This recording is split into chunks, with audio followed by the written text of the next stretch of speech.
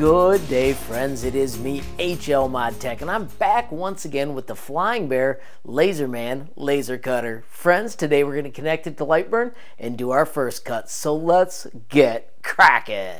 Friends, we're going to start on my website, hlmodtech.com. I've got a tab dedicated to lasers. And then right over here, I've got the full list of videos for the Laserman, the website, and also the setup folder. Inside this folder, we have useful things like the manuals, the drivers, and then what I need right now is the engraving software. Double click to enter that folder, and then I'm also going to double click to enter the Lightburn folder.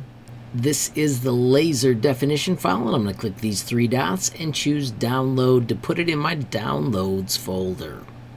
With it there, I'm going to simply hit save and it is time for us to minimize that, find Lightburn, and launch it. After a moment, Lightburn will load and we need to move over to devices and we need to import a brand new device definition. Of course, we stored that in our downloads folder or wherever you chose. We can click it and then choose open and just like that, the Laserman has been added to Lightburn.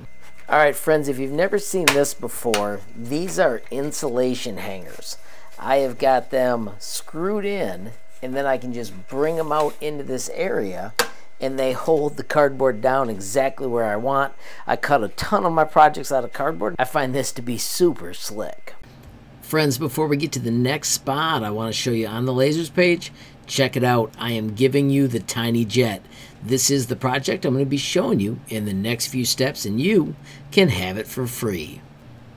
Let's grab one of my favorite projects by doing File, Import, and then in my 3D modeling folder, and this is what you could have downloaded a moment ago, we're going to search for the jet. And so in that folder, there was a tiny jet and a launcher. You can see those are the launchers. We are going to use the Tiny Jet SVG and hit open. I'm going to work with the project right here. It is a cute little cardboard jet that when we're done, we can assemble it and we can actually launch it with the launcher that is the second file.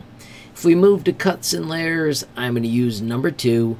I'm going to take this 420 and I'm going to change it to 400 just because it's the first time I've used this laser. I'm going to keep the pass count set at 1 and I'm going to use 100% power. With that in place, I do want to double check and make sure I'm on current position. That switches depending on which laser I'm using. In the move command, if you hold shift, it moves 10 times as far. I'm moving this out so that you've got a better view of the laser cutting. We do need to set the height. This is one of my favorite features that our height adjustment is sitting right there ready to be used. We also have one knob to adjust it, get it so that we like it.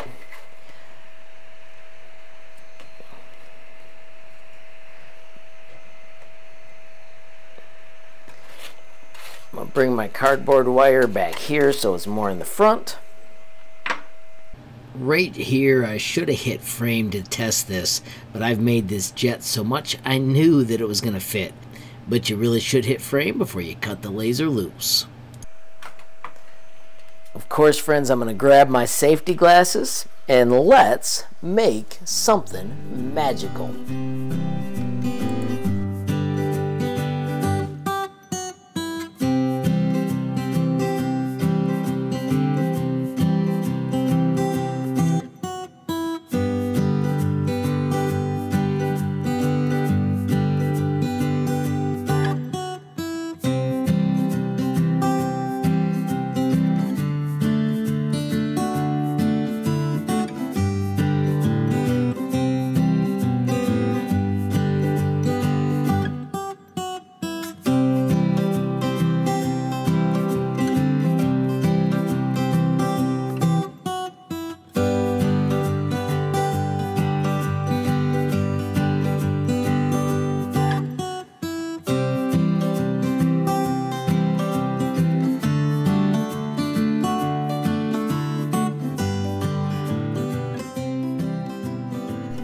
Alright everybody, so let's see what we made if we slide this out of here.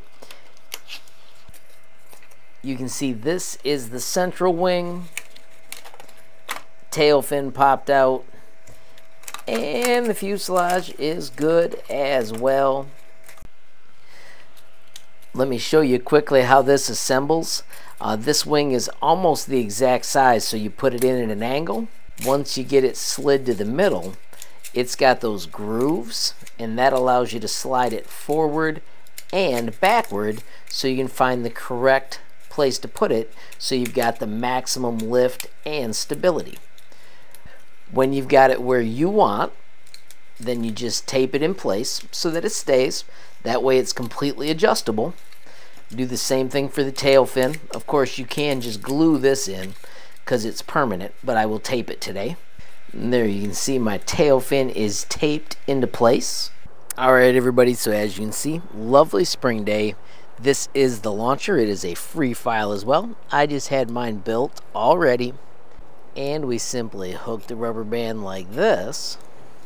And then make sure you grab the vertical stabilizer and you can launch your awesome jet. How cool is that? Just because it's so darn fun, let's launch it again. Try for a little bit more up this time. And that's a blast. All right, everybody, so let's review quick. That was our first cut with the Laser Man. It did an absolutely fantastic job. Of course, this is a free file you can find on my website, both the jet and the launcher, and then all you need is a rubber band and some clay and a little tape to start having fun. Friends, of course, make sure you stay tuned because there will be a lot more projects coming up. And if you're looking for more information, you can always check the links down below. Finally, friends, if you enjoyed the video, please give it a like. Please also hit that share button so more people can learn about HL Mod Tech. Don't forget, friends, you absolutely make my day if you take time to leave a comment down below. And if you haven't subscribed yet, what are you waiting for? Smash that subscribe button. And last but not least, hit that notification bell if you want to be the first to know when there's a brand new video from me. HL Mod Tech. Thanks for watching. Have a great day.